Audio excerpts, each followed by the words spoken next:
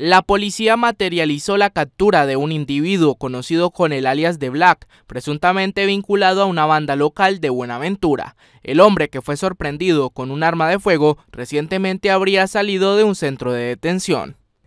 En un procedimiento de registro y control se logra la captura del sujeto John Alexander Rosas Payán, más conocido como alias Black, presunto integrante del GDO Los Espartanos, quien tiene un amplio prontuario criminal y ya había sido capturado con armas de fuego y había recién salido del centro de detención transitoria Marte.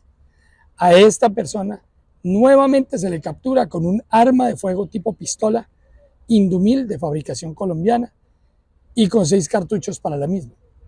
En la entrevista se, logra establecer que al parecer este sujeto entraba al sector de Los Ángeles con el fin de acometer algún hecho punible con esta arma de fuego.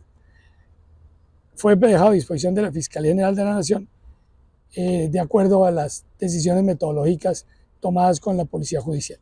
Las autoridades con esta detención golpean al grupo delincuencial organizado Los Espartanos, responsables de diversas actividades criminales en el estratégico puerto de Buenaventura.